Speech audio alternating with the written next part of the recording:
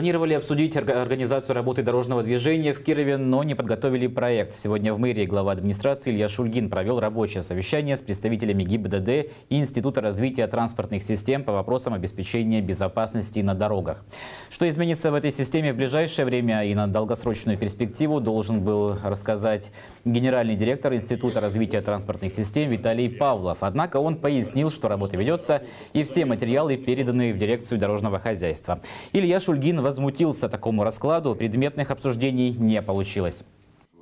Мы это, вашу работу, к сожалению, не можем увидеть уже на протяжении всего контракта. То есть какие э, подходы используются, как работает программа.